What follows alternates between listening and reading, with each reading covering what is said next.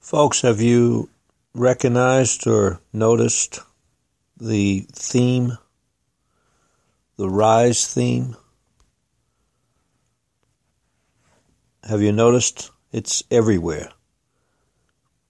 This theme, rise, whether it be rise together, the music industry with Katy Perry, new uh, um, single that just came out called Rise. Now, uh, Hillsong comes out with a movie, uh, Let Hope Rise.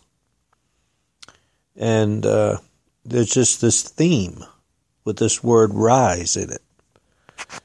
What's interesting is that it has nothing to do with Jesus Christ, but we're hearing this word rise. Um, Hillary Clinton is using this in her campaigning. Uh, we're just seeing it over and over, whether it be in the religious, the entertainment, the uh, political arena. We're just, it's like everywhere, right? And maybe you don't understand what they're talking about, but uh, there are scores of people today that think this is the Holy Spirit uh, where they talk about, you know, with Hillsong and different, um, you know, gatherings that are taking place. One in September, rise, you know, all this whole idea of rising together.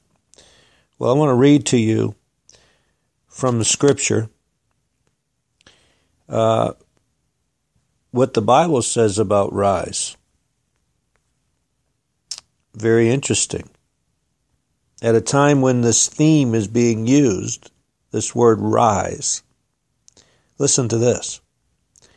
Mark chapter 13, verse 8. Jesus is speaking. For nation shall rise against nation, and kingdom against kingdom and there shall be earthquakes in divers places, and there shall be famines and troubles. These are the beginnings of sorrows. Nation shall rise against nation, and kingdom shall rise against kingdom. My, my. Then we go to Mark chapter 13, verse 12. This is the one that really was stark to me. This is the one that really hit home. I've been dealing with this, with this movie that just came out, uh, God is Not Dead 2. Mark chapter 13, verse 12. Now the brother shall betray the brother Again, Jesus is speaking. Now the brother shall betray the brother to death, and the father the son.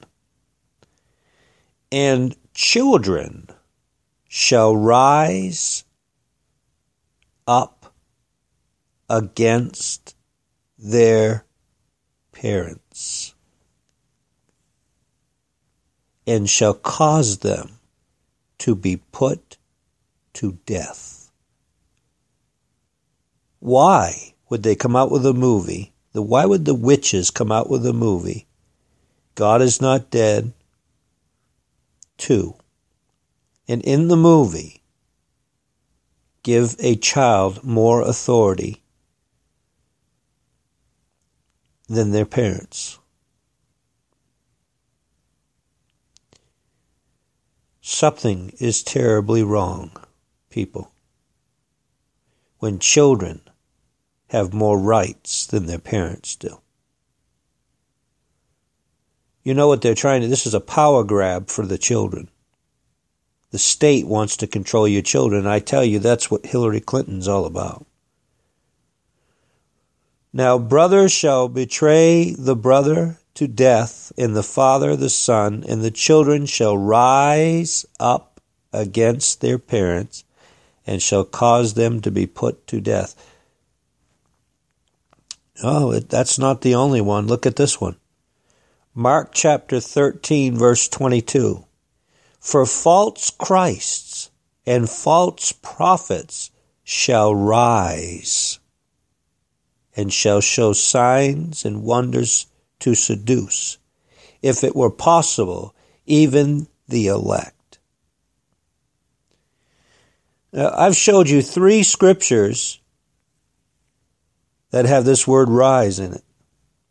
As we watch the world rising together, nation shall rise against nation, children shall ri- rise up against their parents false Christs and false prophets shall rise and shall show signs and wonders to seduce, if it were possible, the very elect. Folks, is it any wonder why this word rise is in the theme? Um, everything, it seems, uh, it's just worldwide right now. Again, we hear it in, in the entertainment, we hear it in the political, and even in the religious. The Pope even using this word to rise. Now, what you may not know is that the Kundalini, when they talk about the chakras and they talk about the energy. Uh, it's all about the kundalini or the the serpent energy rising. That's what they call it. It rises within the person, the individual. So, you think about it with me for a moment. We know it's not the Holy Spirit but there is a spirit that's working,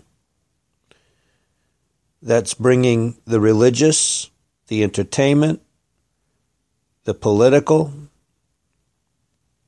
Are you listening? All together. They are rising together in unison. In every spectrum, in every area of society is being affected by this spirit, this theme to rise. Well, we see also that Babylon is rising in the scripture. But we also see there will be a fall of Babylon.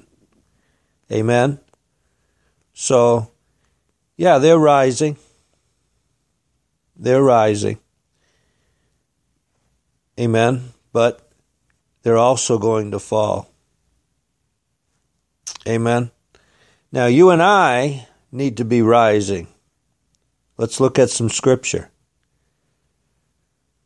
The believer in Christ should be rising. Listen to what Jesus said in Luke 22 46. And he said unto them, Why sleep ye? Rise and pray, lest you enter into temptation. Rise and pray, lest you enter into temptation. Remember, Jesus said, As a snare shall it come upon all the world to try them that are upon the earth. But he said, Because you've kept the word of my patience, I will also keep you from the hour of temptation. How are you going to be kept from the hour of temptation? Rise and pray. While the world is rising, you and I need to rise and pray. Awaken and pray. That's what the word rise means. It means to awaken. They're awakening that Kundalini energy, which is Satan. They're, they're awakening to Satan. They're awakening to an, to a consciousness of the devil, people. How much more should you and I be awakening to a consciousness, to an, to a a relationship, a intimacy with Jesus Christ, we need to wake up. Amen. We need to rise and pray. Hallelujah. Glory to God. We see this word rise all through the scripture when it comes to Jesus rising from the dead. So the word rise has to do with resurrection. Amen. we see this this word uh, rise, and even in the New Age, this word rise is used having to do with the third day. They talk about a third day. I won't go into that right now, but there's a there's a theme, there's a there's a word out there in the New Age realm about a third day. It, it's it's uh, convoluted, uh, using the scriptures for their own purposes. Now, Jesus says to this man that's uh, in bed uh, that can't walk, John chapter 5, verse 8, take, Jesus saith unto him, Rise, take up thy bed and walk. Stop making excuses. Amen. No reason to lay there in that bed if Jesus has healed you. Get up. Stop living off the, trying to live off the government. Amen. Let Jesus heal you. Take up your bed and walk. A lot of folks don't want to be healed because they don't want to lose their support of the government. They don't want to lose their their uh,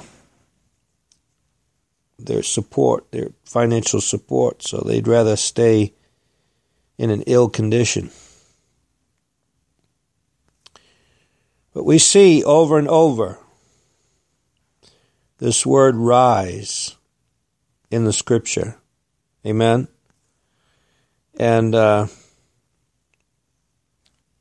we need to be rising while the world is rising. Praise God. So, praise God, people. While the world is rising, while evil is rising, while they're rising together, amen, you and I need to rise and pray. Hallelujah. Glory to God. And one last word we see here. Revelation 13:1. Listen. And I stood upon the sand of the sea and saw a beast rise up out of the sea. The sea being the people. The beast is rising. Let's rise together, is what the theme is. Rise. Let hope rise. You're hearing this all through out our world today, this theme to rise. In the scripture says, John said, I saw a beast rise up out of the people, having seven heads and ten horns, and upon his horns ten crowns, upon his heads the name of blasphemy. So while all these things are taking place, and we're seeing a, a great awakening world, world, worldwide right now, and uh, the beast is rising, which they call Kundalini, the serpent energy you and I need to rise and pray. Amen? Rise and pray. God bless you.